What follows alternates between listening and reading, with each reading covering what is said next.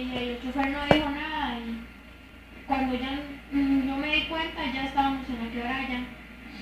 Después cuando veníamos por el cementerio, se quedó sin freno y nada más el chofer comenzó a rizar y cuando nos dimos cuenta fue que puso en un brinco y ya estábamos allá en el, en el guindo, ya, ya había pasado todo. Como a las seis, seis y media, no sé.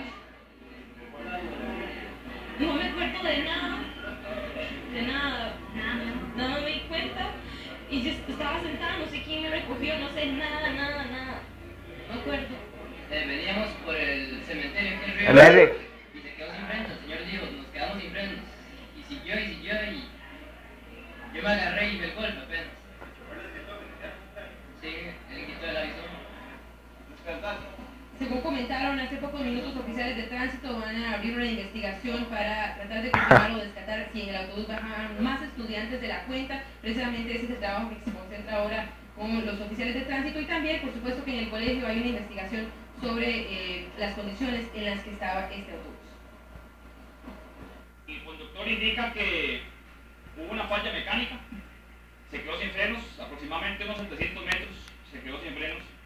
El bus, del cual trató de postular el bus, pero lamentablemente se fue a esa quebrada.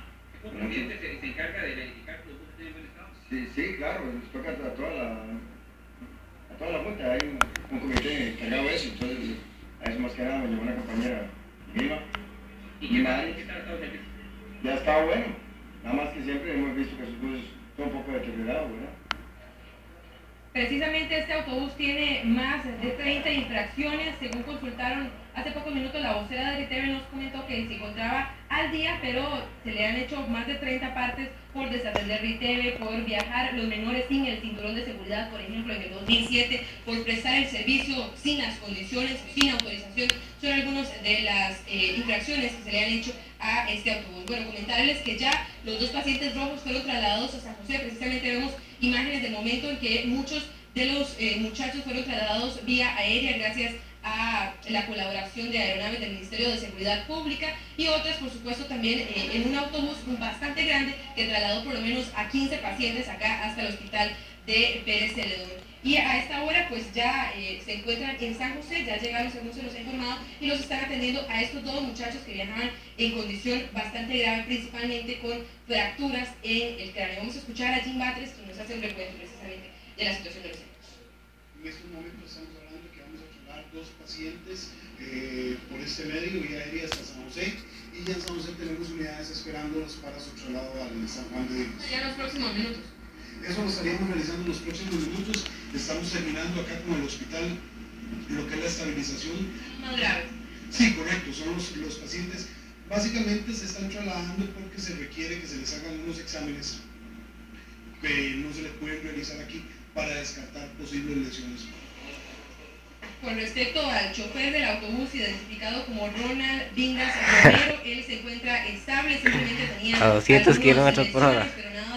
Consideración. Él fue quien comentó a las autoridades que posiblemente una falla mecánica lo llevó a perder el control y a caer al cauce de... ¡La polla se salió! ¡Se salió Comentarles que las clases se encuentran suspendidas en el Colegio Técnico de Pejivalle. Al ser un colegio técnico, ellos estaban precisamente realizando pruebas de bachillerato y obviamente también fueron suspendidas hasta el nuevo aviso. Ya se estaría comunicando qué va a pasar con estas pruebas de bachillerato. Los son en total, según se nos ha informado, 47 estudiantes, de ellos hay 35 con algunas golpes leves, 10 con fracturas y dos, como les decía, que ya fueron trasladados a San José, los muchachos que están graves porque presentan serias fracturas, principalmente en el cráneo. Compañeros, por ahora es la información que tenemos desde eh, el, el hospital Escalante Pradilla en Pérez. Ustedes tienen más en el estudio.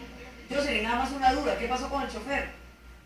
Él fue remitido acá al hospital, como les comentaba, tiene algunas lesiones leves, todavía está en valoración, es una de las personas que todavía están revisando, pero en cualquier momento ya le podrían dar de alta. Precisamente es ese que vemos en imágenes, como vemos tiene eh, un cuello ortopédico y un golpe también en la cabeza, pero son lesiones eh, leves, según nos decían los prorrogistas que lo atendieron. Jocelyn, otra pregunta, los estudiantes que quedaron en atención ahí en el hospital en, en Pérez Celedón, en el Calante Pradilla, sí están en buenas condiciones de salud.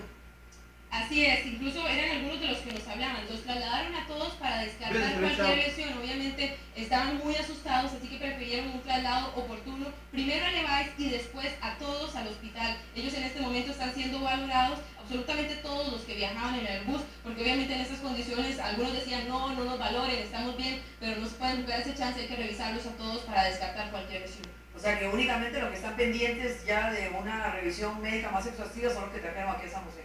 Así es, los trasladaron hace unos 20 minutos a San José. Ellos presentaban, según nos explicaban los cronologistas, lesiones muy graves en el cráneo y esos son los únicos dos que se encuentran en una condición crítica. ¿Y los padres de familia ya empezaron a llegar al hospital? Así es, hace, familia, hace algunos minutos empezaron a llegar padres de familia con los muchachos, obviamente muchos incluso estaban acá en las afueras del hospital, algunos lograron ingresar con ellos, como vemos incluso en las imágenes, mamás que preocupadísimas llegaron por sus hijos porque sabían que viajaban en ese autobús, que salieron de la casa a las 6 de la mañana y que tenían que llegar al colegio a las 7, pero eh, minutos antes de las 7 es que se presenta este accidente.